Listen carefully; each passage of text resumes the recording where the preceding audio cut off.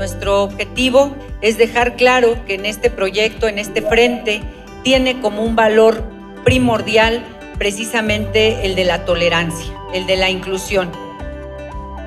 La Ciudad de México es reconocida no solamente en nuestro país, sino a nivel mundial como una ciudad de derechos. Se ha construido a base de mucho esfuerzo de la sociedad civil organizada particularmente, pero también de las mujeres que desde tiempos inmemoriales han venido trabajando por sus derechos, por el reconocimiento de ellos.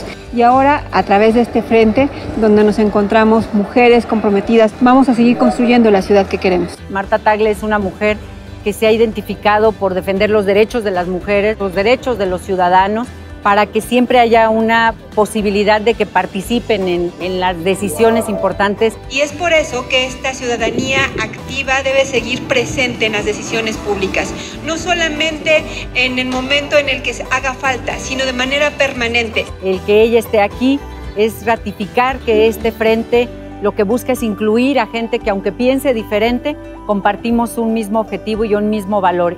En el frente vemos, como les digo, mujeres de lucha, mujeres de trabajo muy comprometidas para sumar nuestro esfuerzo y nuestra capacidad y nuestro amor por la Ciudad de México. Muchas gracias Alejandra por la invitación y pues a darle duro porque esta ciudad se lo merece.